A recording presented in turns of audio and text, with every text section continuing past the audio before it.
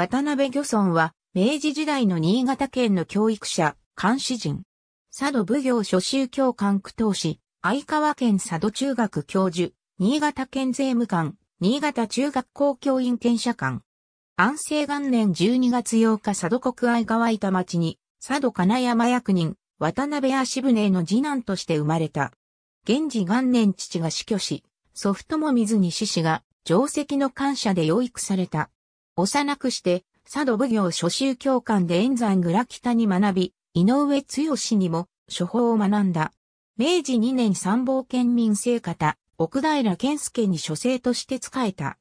1871年を治教官区当時、1874年4月、相川県佐渡中学漢学部教授となり、1876年4月、相川県廃止により解職された。1880年5月新潟県に勤め、1883年1月17等出資となった。1885年10月修税族に転じ、1889年、小千谷出張所長、1890年柴田、関税分所長、1893年、新津修税所長、1896年、与田税務所長、1897年、柴田税務所長を歴任した。1900年5月前、新潟県知事、勝又実の推挙で、新潟県立新潟中学校食卓教員権、社官事務取扱いとなった。白山浦一丁目や下朝日町に住み、後に学校町通り二番町の岡本工事入り口から西20メートル南側の2階建て家屋に移った。1902年6月佐渡への修学旅行を引率し、妙法寺の志倉北母碑、清水寺、根本寺、長谷観音、妙泉寺、断風上司、国分寺、真野御陵、獅子が、上司、相川鉱山、草原寺の祖先の墓、金北山等をめぐり、佐渡美市を表した。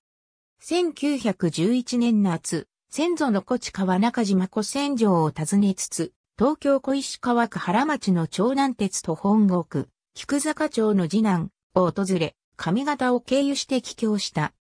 1914年1月9日、体調不良のため社官を退職し、右目の緑内障や内臓疾患により、新潟医学専門学校附属病院に入院した。半月で退院後も体調は回復せず、8月14日、早朝、妻木へ、二人の子、兄嫁菊に見取られながら死去し、日和山共同墓地に葬られた。新潟に移った当初は貧乏だった。引っ越しのため妻と荷車で運搬中、尾崎愛川に遭遇し、まだ猛攻ほどは貧乏でない。と言い張りながら運搬の手伝いを頼んだが、相川は辟易して逃げ去ったという。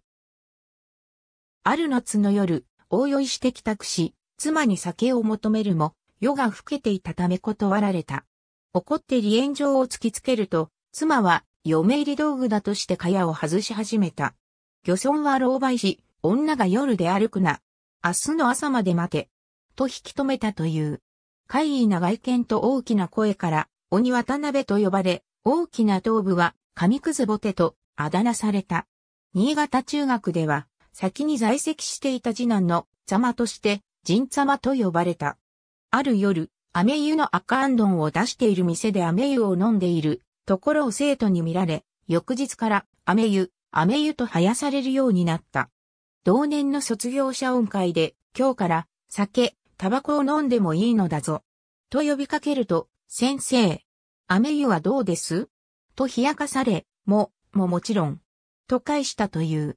結婚式の時、座敷に出るのを恥ずかしがり、屋根の上に隠れてしまった。親族、売借人等が捜索するも見つからず、自分からも戻りづらくなったため、屋根の上から来山陽、天草用に白巣を吟じ、ようやく発見されたという。漢文だけでなく、英語にも通じ、ベンジャミン・フランクリンから言語で、ソラノーは直立しがたしと引用したこともあった。ありがとうございます。